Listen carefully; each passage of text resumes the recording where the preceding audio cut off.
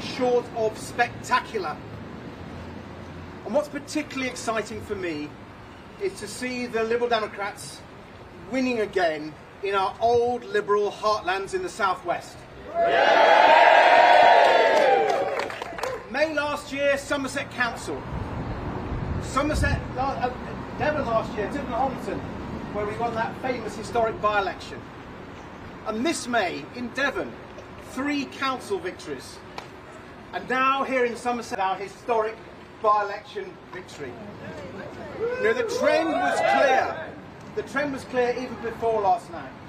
But now it's certain. The Liberal Democrats are back in the West Country. Yeah!